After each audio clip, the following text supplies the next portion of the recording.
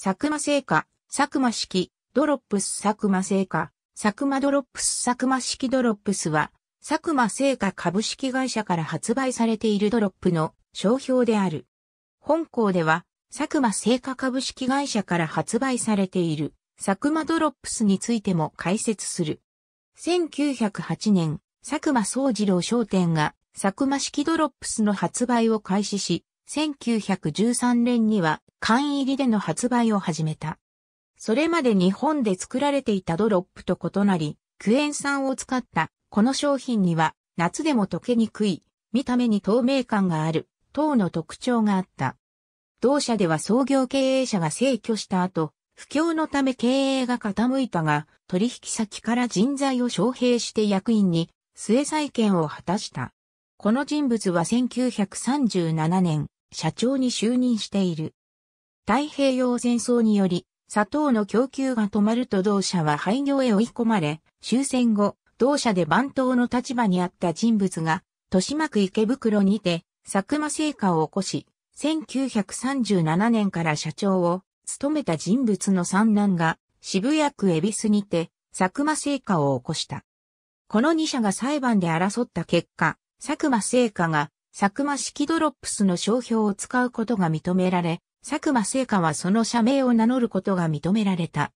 佐久間式ドロップス佐久間ドロップスここでは、佐久間式ドロップスと同じ缶入りの商品について扱う。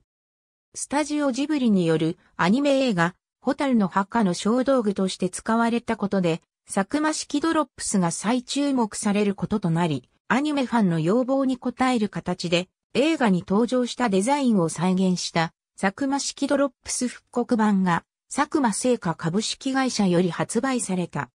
缶には当時のままに創業明治41年と記され、裏面には火垂るの墓のキャラクターである節子のイラストが加えられている。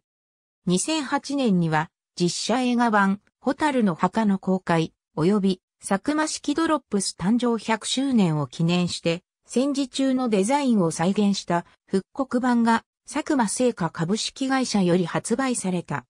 串間務ザ・お菓子不走者1996年 ISBN 978から45億9401万9037 87から94ページより